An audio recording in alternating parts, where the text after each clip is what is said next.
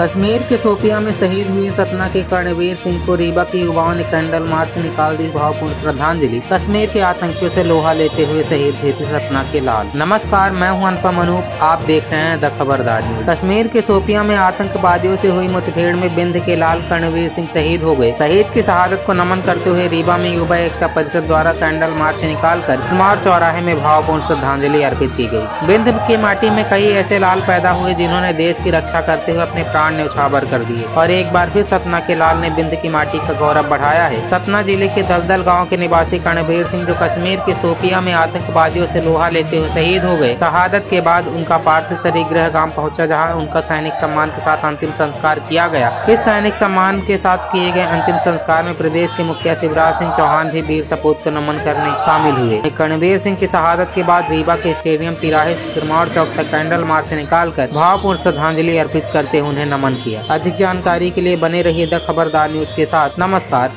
धन्यवाद।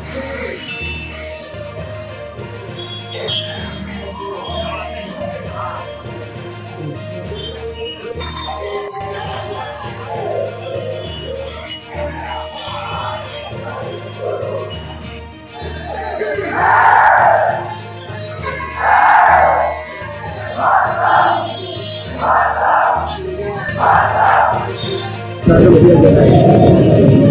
आप लोगों को जैसा कि जानकारी है कि अपनी भारत माता के वीर शहीद सपूत कर्णवीर सिंह जी, बीते दिनों कश्मीर हमले में शहीद हो गए हैं।